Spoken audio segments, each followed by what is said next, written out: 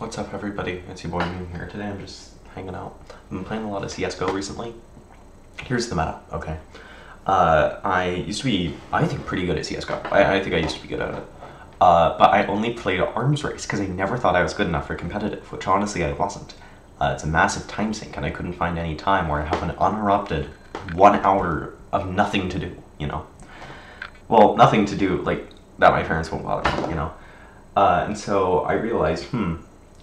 So I was just playing Arms Race, and then I stopped playing because I just got bored of the game. And then the same thing happened again, and then I stopped playing. But then, just now, right, I started playing again. Oh, and I played competitive last time, and I was just okay at that. I don't know. The idea of spending an hour on something and then having it go to nothing, just like losing the game, is no fun. So, uh, you know,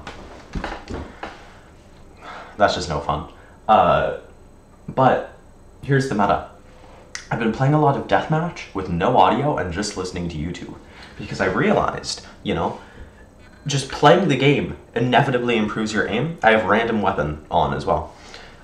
Just playing the game inevitably improves your aim, and if I play the game with the handicap of being deaf, then when I play with sound, I'll be like a demigod. So if I get really good at playing the game without sound, I'll be like perfect at playing the game with sound.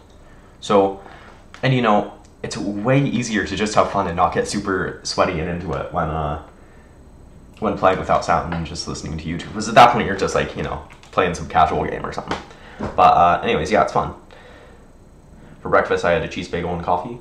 It's just like bottled coffee, it was just okay. For lunch I'm not sure what I'm gonna have, and for dinner I think we're gonna have Cornish pasties. Alright, see you dude.